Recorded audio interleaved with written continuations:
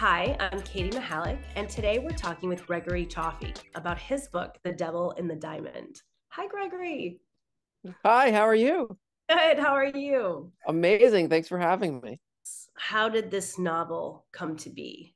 This is very much a quarantine novel. So the quarantine happened uh, around this time. There was a rise in anti Asian sentiment in the United States. Uh, and this just seemed apropos. It just seemed topical. The novel takes place during and right after World War II. It kind of seemed like it was mirroring society of today.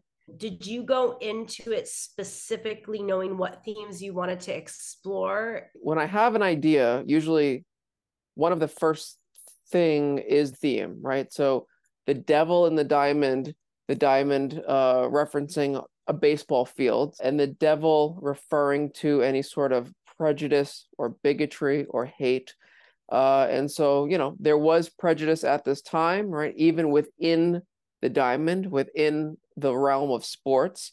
Um, I read an article, it was actually an academic article about how baseball acted as the the thread, the healing factor between America and Japan after World War II. And that article really inspired me uh, to lay the grounds for what this novel became, right? Because Japan was an ally prior to World War II, an enemy during World War II, and an ally after World War II. So I thought it was super fascinating how a sport could uh, act as the healing factor between two peoples.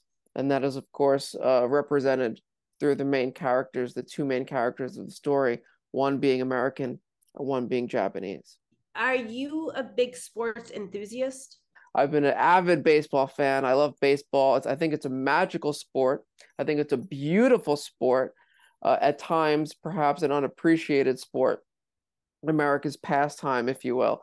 Beyond sports, can I ask what about the race and ethnicity elements about the book? Well, it was very palpable, especially at the time, you know, of of sitting in quarantine during a pandemic uh, I saw my favorite Yankee pitcher, Masahiro Tanaka, leave the New York Yankees out of fear for his family's uh, safety, and he went back to Japan.